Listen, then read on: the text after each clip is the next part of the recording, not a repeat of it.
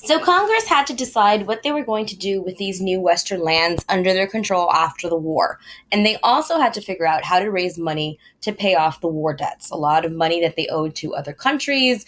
They still owed soldiers for paying um, for paying them for serving in the war. So they had to figure out a way to be able to raise money. And it decided to solve both problems by selling these Western lands.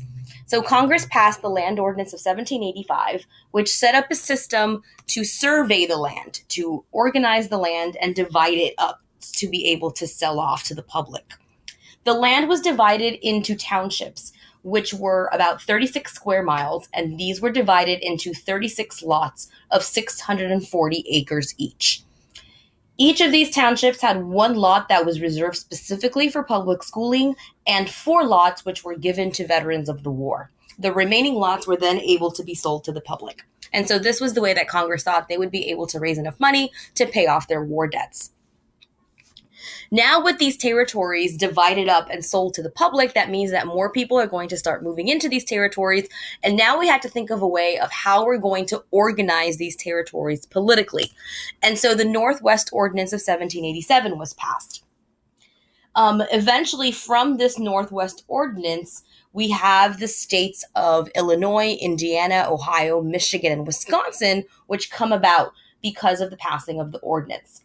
It created a system for bringing these new states into the Union. And so Congress agreed that the Northwest Territory would be divided into smaller territories with a governor that was first appointed by the Congress. Then, eventually, once the population reached 60,000 people, the settlers would then be able to draft up their own constitution and apply and ask to join the Union. In addition, the Northwest Ordinance also protected civil liberties. It required that public education be provided, and it also um, stated that there was no slavery nor involuntary servitude allowed in these new territories. So, pretty much, this last condition um, ban slavery in the new territories. Now, however, this is going to continue to be a very controversial issue, and we'll see that this is not going to be the last time that we're going to touch upon the issue of slavery when it comes to the creation and the addition of new states in the United States.